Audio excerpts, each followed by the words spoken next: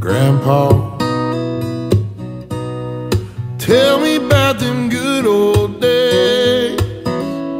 Sometimes it feels like like this world's gone.